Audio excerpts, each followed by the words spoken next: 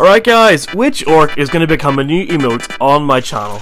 That's right, for the last two weeks I've been collecting your orcs because I'm hosting a massive pit fight tournament over on my Twitch. It's going to happen tonight, 7pm GMT. There are 30 orcs competing. Half of them have already been assigned, and the other half I'm going to spin a wheel at the start of the stream to assign an orc to a member of chat. Whichever orc is crowned the champion of the pit fight tournament is going to get their own personal emoji on my channel, as well as that emote featuring the member of chat that's won. I'll see you guys tonight.